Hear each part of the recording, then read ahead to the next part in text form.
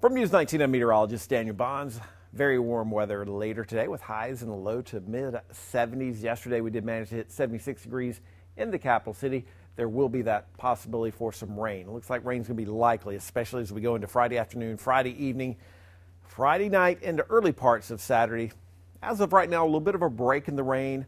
We'll say during the morning hours and then early afternoon hours. And then there'll be another chance for some showers Saturday, late Saturday afternoon and into Saturday evening. Weather does improve on Sunday. Mid 60s, though, a little bit cooler. Gradually, temperatures warm up closer to normal, but the rain chances increase once again as we go into Tuesday and Wednesday. The coastal forecast do expect rain on Friday, possibility for some storms on Saturday, partly cloudy conditions on Sunday. So the second half of the weekend is going to be better along the coastal region. That'll be the case in the upstate as well with those sunny skies on Sunday.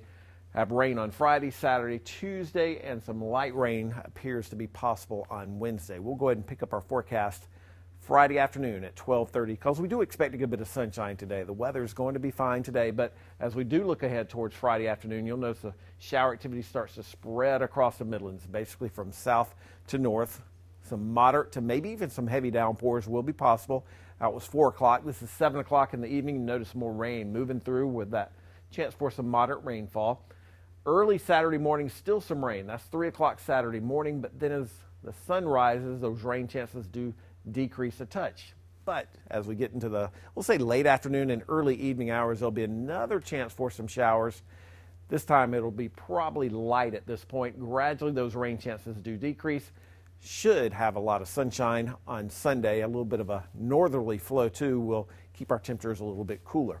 Rainfall forecast, the latest model run from our in-house forecast model indicating an inch and 35 hundredth for Columbia, a little over two inches for Orangeburg, and some isolated amounts, at least predicting the possibility up to three inches of rain. So a lot of rain is going to be possible Friday and into Saturday.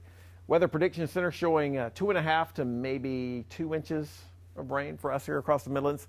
That'll be over the next seven days. So Regardless, looks like a good bit of rain Friday, Saturday. We do dry up on Sunday. This, according to the European forecast model, we'll get another chance rain isolated at this point on Tuesday with another chance rain on Wednesday. This is American forecast model showing basically that same idea. As far as rainfall amounts are concerned over the past month, we've picked up a lot of rain 27 hundredths of an inch of rain on Friday. Matter of fact, if we get rain tomorrow, it'll be our fifth consecutive Friday we've had measurable rainfall. Kind of a crazy stat there. The good news is our pollen levels will improve tomorrow because of the rain, but today pollen levels still pretty high. If you are suffering from seasonal allergies at this point, you can blame the tree pollen. A nice long day across the Midlands. Sunset will be at 737. Mentioned this earlier. We did manage to hit 76 degrees yesterday. We'll be in that same range later today. But looking a little bit ahead, 8 to 14 days out, this is March 28th through April 3rd. Looks like temperature is pretty close to normal, but the precipitation is going to be slightly above normal during that same time frame.